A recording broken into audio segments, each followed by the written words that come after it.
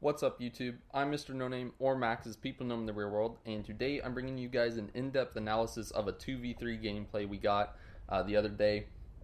And basically, this was originally going to be live, but the recording failed, so I decided, hey, let's go over, let's just do an in depth thing. Let's try and see if you guys can learn from my mistakes, my uh, successes here. So I left this long part here so I can talk a little bit to set things up because there is some important info. So the first thing is that we won the first game 3v3. Um, they didn't say that we couldn't use a substitute. We were like, hey, we accidentally put the wrong person. Can we use a sub?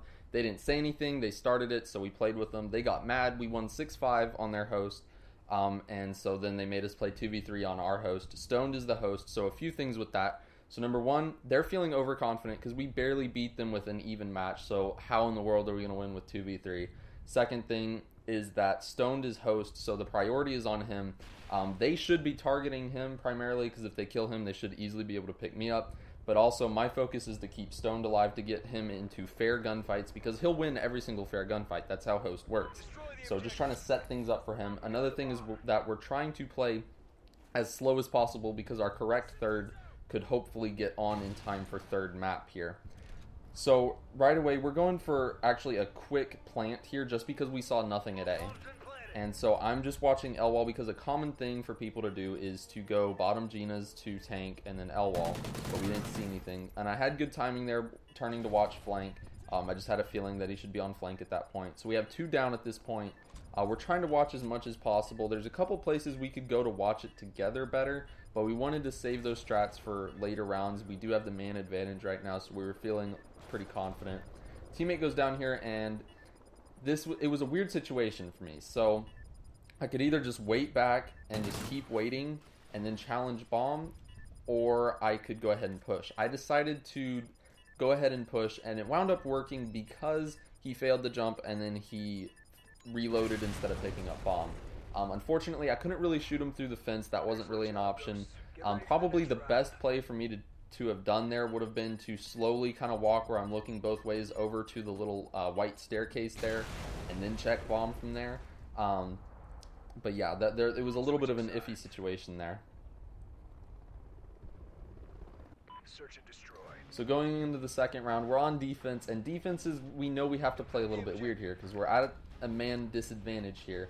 So there's a lot they can do. We can't watch everything really. So I decide to just kind of lock down A, and he decides to go B. Um, obviously, I don't see anything over at A, and he calls out that they're going B. He gets the snipe. So I'm trying to rotate over to him as quickly as possible. He dies. I see one mid map here, and I go ahead and pick him. And then I make the mistake of hopping off the tank. Now, I should have stayed there. It's a 1v1, and I have really good vision of everything, and obviously he's going to try and push me. And because I hopped off, he was able to get set up, have it pre-aimed and everything. The two options I had there were to have run immediately away or to stay on the tank and watch crosses for at least a good 10 seconds to see if he tried to push me. Switching sides. So that's what I should have done there. Search and destroy. Alright, so this time we're planning on playing a little bit more aggressively. We decide to go B. We're feeling confident because we're keeping it pretty close. And so we're just going to try and do what we can here. Uh, we take the long way around just so that there's less chance of them seeing us. And I, I call the guy outpost there, try and set up a sort of a beta, bait and switch. Didn't really work out there. We didn't pick up the kill right away. But my teammate kind of forced him to run towards me, and I pick up the kill. And we got another one in post there, and he's shooting, and I'm just trying to heal up. So I don't see anything pushing us anymore, so I'm just kind of playing back with my teammate here. We're watching flank and post and everything, just seeing if they will push us. And then my teammate picks one up top antiques. He called that out. So I decide to watch flank from a different position here for a second. And right here we get a call out that he's water tower. One of our characters saw it. Neither of us saw it. Um, and we're trying not to line up too much here so he can't, you know, just get a nice little two piece. So I'm trying to play back a little bit. I check to see if he decides to wrap. And I don't see anything wrapping, so we decide to go ahead and push up. Uh, he wanted to go back to B, but I called let's go A. Um, the main reason is because we weren't exactly sure where this guy went to. Um, I have a feeling he probably did wind up wrapping, so we were just kind of concerned. So I decided to go A, even though it was risky on the time. And I'm looking for him to wrap back towards A, and I decided to just kind of watch the L wall rotation again because I highly doubt that he was going to push through the back in time to get to us from that side. So we get into the perfect setup. This is the best thing you can do in a 2v1 situation. It's just you don't want to do this every round. It is possible to pick up both kills here. Um, a lot of people use this spot, so it's kind of scary to use. But if you've got, you know, host advantage, there's no reason you should lose it. And luckily, my teammate picks up the kill here. Ready for the next round.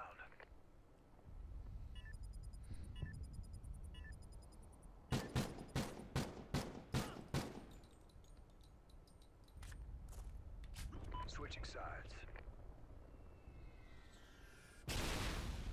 Search and destroy. Alright, so going into the next round here, I remember this round distinctly because I make a mistake, but things wind up working out. So I'm going here, I'm pushing with my sub, and I'm going to go on this tank and switch to an AR. Now, my problem here is that I didn't know exactly where that class was, and I panicked, and my shots went a little bit wild, so I didn't pick up the kill right away. So that was bad. I should have either just switched to the AR initially or made sure I knew exactly where it was. So at this point, I know one is probably going to push me bottom Gina's, and one is going to be on our flank. Luckily, timing worked out there. So my teammate picked one up at A, so he showed up on radar. And then the other two knew about where I was, so they tried to kind of move in on me, but my teammate distracted the one that was on far flank. And because I picked up bottom Gina's and predicted that, I was able to shoot this guy in the back. So things worked out there. Um, it was a little bit weird teamwork positioning, but it, it just kind of worked that round for us. Um, that wouldn't work every time, but we read them pretty well there. Destroy the objective. Bomb acquired. So we decided to try and do kind of another A push here. I try and get a pre-nade off, and I didn't get anything. Uh, we're just trying to see if they'll play, you know, overconfident like they should be. But at this point, you know, we're up, so they might start getting a little bit shaken here.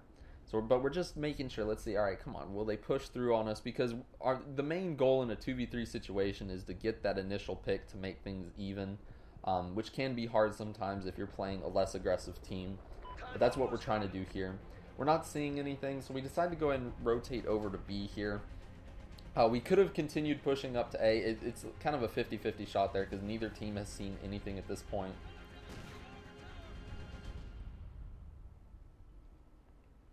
And I think we got a call out there actually. I'm not sure.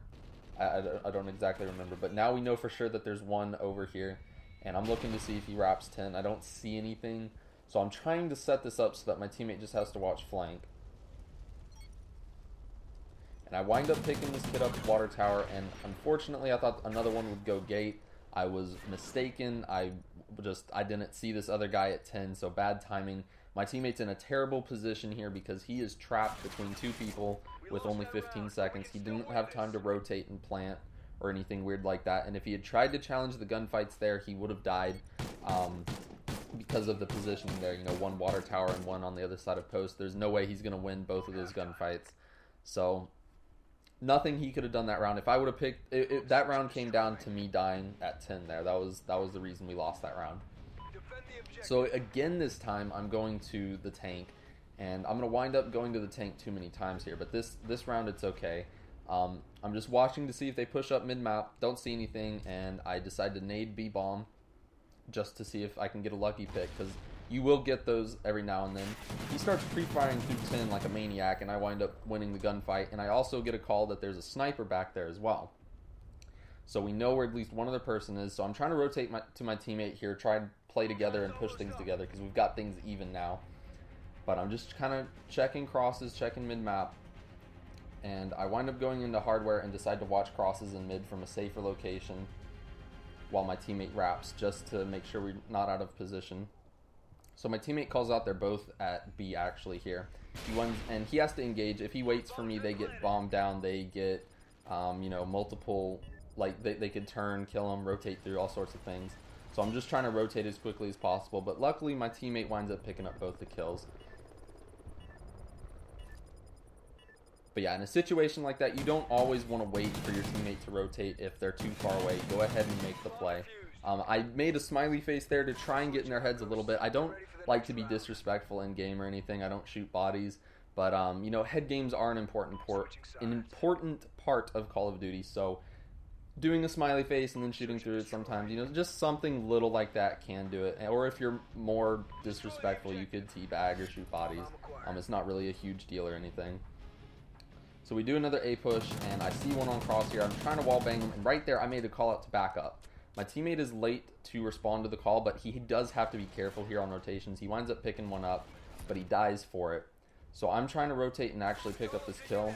Almost turn on this kid, but now I know that they're gonna pinch me. So I have I decide to push to L wall there because I knew that kid was gonna be pushing me. I was hoping to go prone in time to be able to pick up that kill and then go get bomb, get it down before the kid at post rotates to me, or go ahead and just play up and get the kid rotating from post. But I, I had to pick up that kill L wall. Unfortunately, it just it didn't happen. It was the wrong engagement, just a couple seconds off. So is what it is there. So again, this is where I do it too many times. I go to the same spot. I mean, it's a really good spot, but you just you can't do this every time, and I, I stay here too long. Um, I decide to nade B again as well here. Didn't get anything, so I'm gonna. I decide this time not to push though. I decided to back up because I'm like, oh, they're gonna push through, and they push through just a little bit sooner than they normally do, and also, you know, I'd just done it so many times that they must have realized what was going on at that point. Everybody knows that nade spot, so it was just, it was just bad timing there. But I was gonna be in a one v three either way, because my teammate there, he was actually prone crawling at that point, so he was gonna lose that gunfight no matter what as well. So it was just bad timing for us mostly, but I made the same play, which was also a mistake there. So pulling out the thermal again, um, I decide to try and watch mid-map. And I'm a little bit late here. I decided to try and get him when he crosses, and he actually wound up climbing tank, and one was then top Gina's.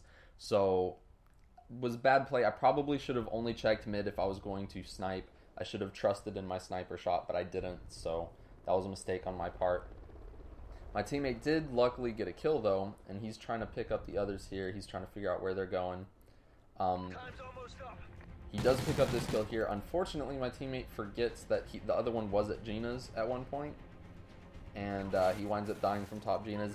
You know, you would think that kid would have moved by now, but my teammate still should have checked it. Um, he should have remembered that call out from earlier, but you know, we all make mistakes. It's just something that happens sometimes. Um, Unfortunately, he couldn't get the 1v3 clutch. I mean, what else is he going to do? He's, he's doing really well at this point. So, we're down right now. We're not too concerned, though, because even if we lose this, we're going to get our third in in time. He's almost able to get on. So, we're like, okay, well, even if we lose this, so let's just play it like we're going to win it. So, decide to watch A here. And I have some shaky shots. I don't pick up the kid, which is iffy. I call out that that was not him that he just called there. And so right here, I told my teammate I think they're gonna wrap B, but let's stay at A for just a couple seconds. Let's see if they decide to push because they love to push flanks on us. So we're like, all right, let's just let's wait a little bit. There's no need to rush it. Um, you know, it's even right now, so even if they get bombed down at B, it's not too big of a deal. Uh, we should have gone ahead and rotated at this point, though. We're a little bit late to rotations, but it is what it is. Um, luckily, it winds up working out a little bit with timing there. So now we're in a 2v1. I'm trying not to be too close to my teammate, and I'm looking for one to try and flank behind us to pick him up, and I was just going to shoot him in the back, but nothing was happening, so I'm staying a little bit behind my teammate here on rotations. And I wanted to check the same bomb site together. Unfortunately, though, we decided not to. Well, not unfortunately, really, but um, just because you know you can get that weird gunfight and then they get bombed down and then it's a one v one and the pressure's on you again. But we decided to split bomb sites um, just because we decided to have confidence in our gun skill, and luckily things are going to work out here. Know, I'm spoiling a few things because I'm saying things a little bit early, but it is what it is. Uh, so my teammate's doing really well now. I'm not doing exceptional or anything, but I've been making good calls. I've been getting some important gunfights and things like that. Overtime. Oh my goodness. Okay, we're gonna do something a little weird here. Um, I had some weird issues there. My editing software froze, so hopefully I can get the timing back up. But uh, we're at the start of this, or we, we're just past the start of this round here. Um, so we're 5 5. No matter what, at this point, we're happy because we're in their minds. Even if it goes to third map, we'll have our third, and they're going to be, you know, kind of worried because we got the. I mean, we took them 5 5 playing 2v3. Uh, we decided to defend A again just because it's the easiest for us to do. Again, I decided to watch flanks, not seeing anything. So we decided to push through. Because at this point, there's no reason for them to have not gone B. It's easier for them, just get B down right away, instantaneously. They didn't do that, though. We wind up picking a kid out of position, and we decide to kind of sit here. It's a little bit weird, but we were expecting them to maybe try and cross back and pick us up or rotate back over. Um, so we're just kind of playing it patient. We've got it even again, so that's again that's the goal of playing 2v3 to just get it down to a 2v2. And we're not seeing anything, so we decide to eventually start moving here. Um, I should have waited a little bit more before moving because we can both. We're I mean we're lined up right now, so that's a mistake. But I'm just watching to see if they push behind us, and my teammate is watching like our side of A. And my teammate gets picked here. I decide to run away. I'm trying to play time here a little bit, and I'm I'm really concerned at this point. My teammate told me to go top hardware, but I decided not to. Um, so I try and pick that kid back 10. I didn't get it, but I I managed to shoot the guy through the fence there, so that's huge. I'm in a 1v1 now. And I decide, okay, I haven't seen him move, so he's got to be in 10. I challenge it, get the win. Um, you know, kind of lucky in some of that, but I wound up clutching up when I needed to. So yeah, that's the in-depth analysis of this gameplay. I hope you guys enjoyed it. Um, after this, the one of the kids was very very salty and kept insulting us and things like that, and they did wind up disputing because that's the way these kids are. But um, you know, it is what it is. So as you guys can see, we're coming to the end of this video. If you enjoyed it, then please like, comment, and or subscribe. If you didn't, then let me know what you I can do better next time. Constructive criticism goes a long way, guys. Until next time, everybody, peace out.